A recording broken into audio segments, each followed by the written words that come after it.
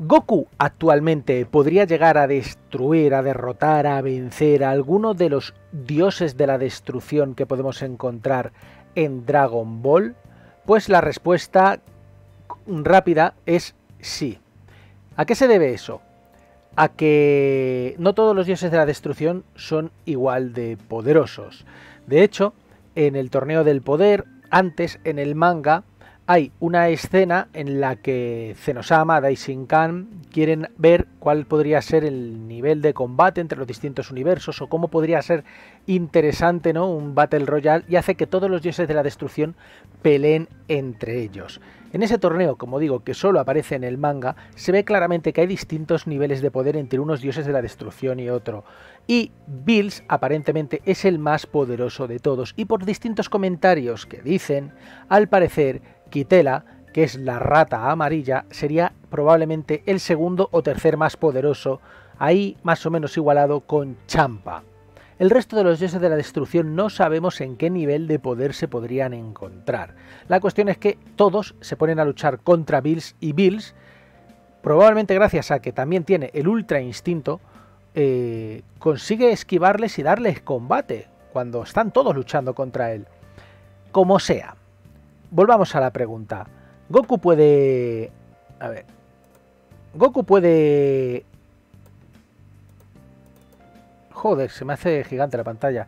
¿Goku puede derrotar a algún dios de la destrucción?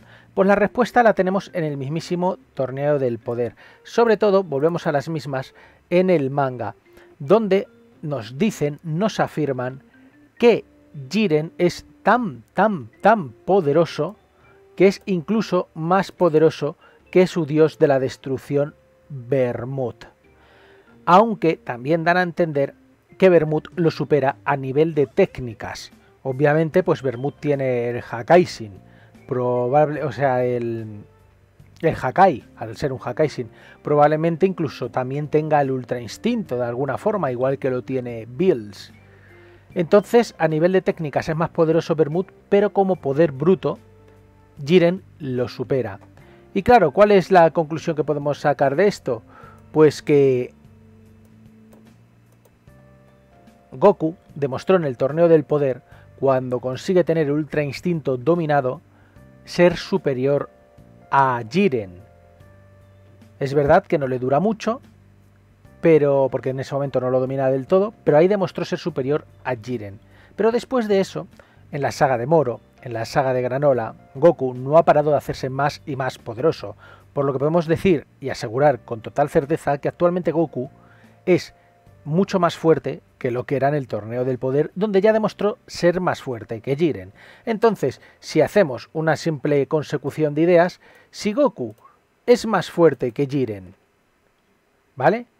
Que es más fuerte que Bermut,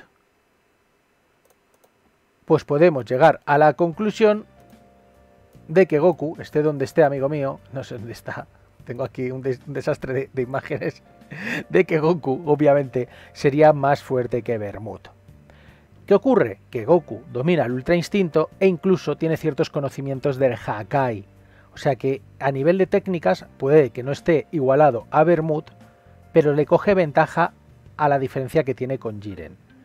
Y yo creo, por otro lado, que muy probablemente Bermud sea uno de los dioses de la destrucción más poderosos, o como mínimo no debe de ser el más débil. Por lo que si a lo mejor no pudiera llegar a derrotar a Bermud, seguro que puede derrotar a alguno de los otros panolis que tenemos por aquí. Así que yo afirmo y estoy convencido de que efectivamente Goku actualmente es más poderoso que varios de los dioses de la destrucción que hemos conocido en Dragon Ball. ¿Vosotros ¿Qué opináis al respecto? Y quiero dar las gracias a Chino, a Escanore, a Boica22, a Xavier Ortega, a López Quintero, a Jonathan Rojas Corea, a Rafael 10K y a Adrián Akin por apoyarme en el canal siendo miembros del mismo.